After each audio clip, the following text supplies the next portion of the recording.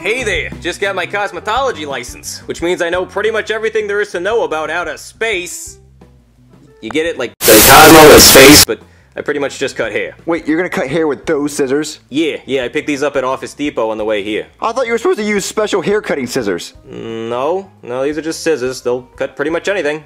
Well, I need you to cut my son's hair. Whoa! Yeah, these these probably aren't gonna do it. These ought to do it. Uh. Got these at Home Depot. All the depots. Is that a bird?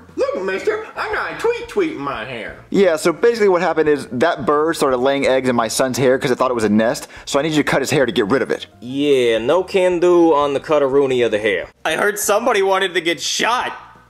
Wait, you can't cut his hair? No, you see, when I became a cosmetologist, I also became a birdologist. And that right there is the lime green cockadoodle tweet tweet. It's extremely rare and endangered. There's only two in the entire world, and one of them is living on your kid's head. A lime green cockadoodle tweet tweet. Yeah. Is that even real? Well, yeah, I know a lime green cockadoodle tweet tweet when I see one, and that is the only one I have ever seen.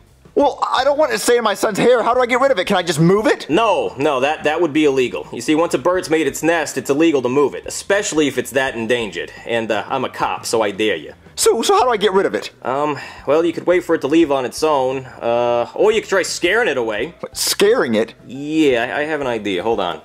Boo! Uh, I'm, I'm sorry. Yeah, that is that is one tough bird. That usually works. So, so uh, okay, I can't move it because it's illegal, and scaring it didn't work because you just tried scaring it. So I'm gonna have to wait until it leaves on its own. Yeah, looks like it. So uh, whenever the birds are gone, you call me and I'll cut some hair. Jeffy,